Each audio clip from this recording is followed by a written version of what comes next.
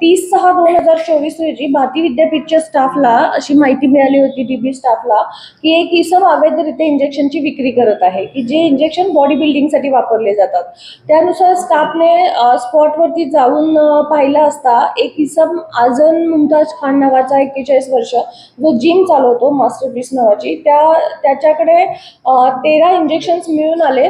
मेफेनटेरमाइन sulphate injection आहे ते. आणि काही सिरिंजही मिळून आलेले आहेत.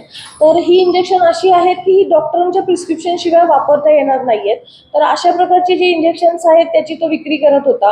आणि डॉक्टरांच्या प्रिस्क्रिप्शन शिवाय हे इंजेक्शन्स वापरले तर त्याच्यामुळं जीविताला धोका होऊ शकतो. इतर लोकांच्या ज्यांना वापरले जातील त्यांना. तर त्यानुसार त्याच्यावरती गुन्हा दाखल करण्यात आलेला आहे तीनशे छत्तीस दोनशे शहात्तरनुसार. तर ही मोस्टली इंजेक्शन्स ही बॉडी बिल्डिंग का ह्याच्यासाठी वापरली जातात ज्याच्यामुळं बॉडी सुदृढ दिसेल वगैरे. तर प्रत्यक्षात असे इंजेक्शन्स न वापरता व्यायाम करून बॉडी बनवणं हे चांगलं राहील. आणि अशा प्रकारे जर अजून कुठे होत असेल तर त्याची आम्हाला माहिती द्यावी आणि लोकांनी अशा गोष्टी वापरण्याचं टाळावं.